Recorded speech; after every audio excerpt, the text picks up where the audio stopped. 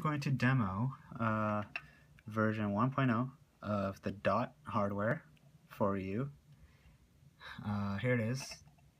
This is the microprocessor on top and all the, you know, the button, the LED, and then here's the battery carrier, and then here is the Bluetooth module.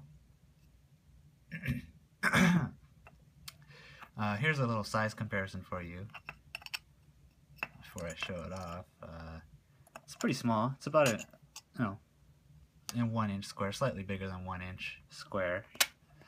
Um, so I'm gonna, I'm gonna just plug in the battery and show off its functionality. So, battery in, standard coin cell battery. I'm gonna log on to my uh, phone right here. And uh, this is just a basic app to connect with Bluetooth devices. Um, connected. There you go.